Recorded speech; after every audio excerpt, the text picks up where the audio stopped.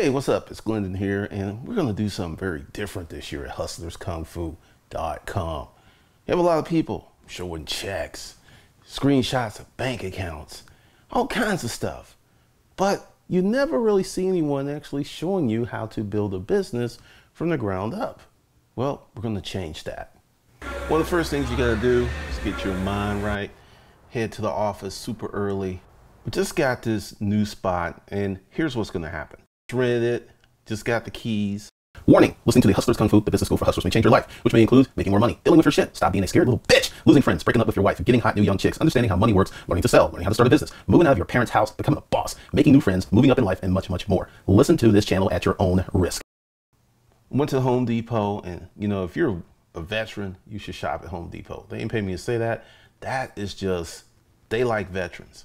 So I got the paint, and I'm gonna show you some of the stuff about how the office started out. Because right now, that's the color. Well, that was the color on the wall. I didn't like it. It was a little gloomy. And it didn't really set the theme of Mac Daddy Media. That's the company that's renting this space. And we're going to have the largest spot. And then I'm going to hire two people for a client, which is going to occupy the first office. Uh, just a few things that are going to go down with that. I had a vision, right? The vision. And I like color. Mac Daddy Media is a video marketing consulting company. So we need some color in there and we need to show the things because I'm going to go with all Macs. I got three iMac. Well, there's three Macs in the offices right now. And in this space, well, we'll go back here because now in this part, we've got the painter. No, no He's doing his thing. I'm doing it before. And you know, he was just like, oh no, no, I was just letting him know I was doing it before and after. What's gonna happen in this spot? It's gonna be three desks yes. against that wall. And I already know the painting I'm gonna put there. So that's gonna you'll you'll see that's gonna be looking really hot and sweet in a minute. There we go. Now this part is gonna be a whiteboard wall. The whole wall is gonna be a whiteboard plus the doors. Now I'm gonna hang some some sweet paintings on there and that's where the desks are gonna go.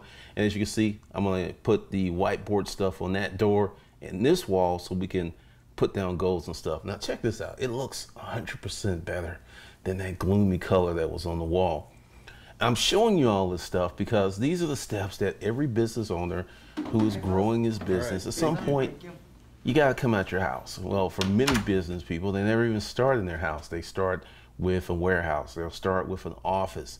And essentially, the way that I negotiated this lease, I have roughly, I don't have to pay my first rent check outside the deposit and stuff until June 1st.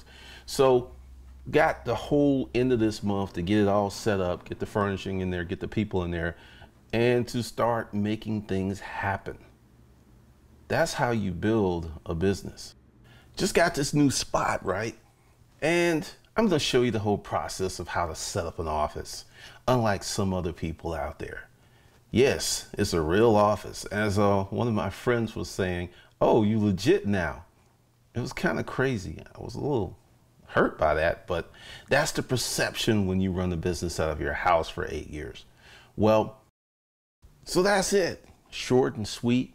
We're gonna be doing more videos like this We'll be on be on location. I'll still have my home office. Make no mistake about that. But things are just going so well that we need to expand. We have to hire more people. And in little videos like this, I'm gonna document the process because here's the thing. Recently, I had numbnuts come to the channel and sprinkle all his little troll piss all over the place. And it hit me. One of the reasons numbnuts and other people are so bamboozled and unsure of what you really need to do to start a business is no one really shows the process from the beginning. They'll tell you this or that. You know, in my storage auction days, which I left before I started this channel, I was like, hey, this is what I used to do. And I told people that. Now, this is something I'm doing. Mac Daddy Media, the consulting firm, plus an e-commerce site is coming real soon.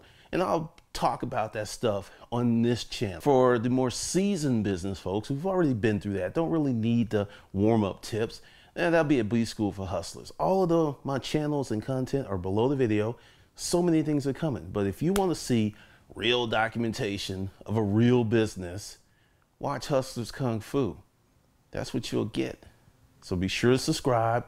And if you got any questions that are business related, and let's let's be real clear about that. Business related isn't like how long did it take you to make six figures? That question is immaterial because you ain't me. What you think about that? When I started this channel and my first year I made 62 grand and my second year I made 90,000, then I blew up in the third year, a decade plus of business experience before I did that.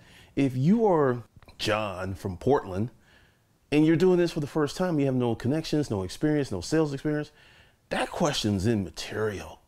Unless we are equal in experience, doesn't really matter. Business questions are, hey, should I run a spot?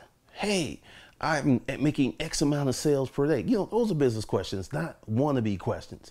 And I'm to be saying shit to people who are asking wannabe questions. So I'm to put just wannabe. Uh, I'm getting real snarky. I'm to talk a lot of shit on the channel now.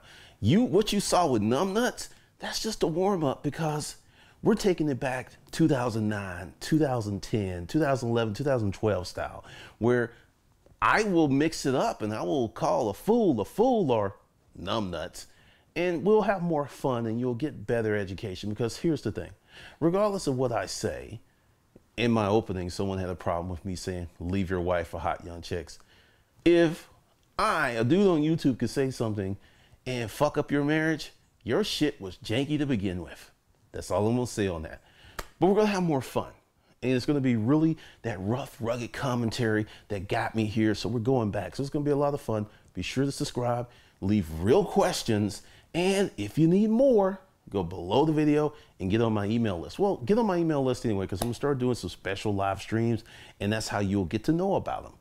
So with that, subscribe, leave a smart comment, and I'll see you guys in the next video.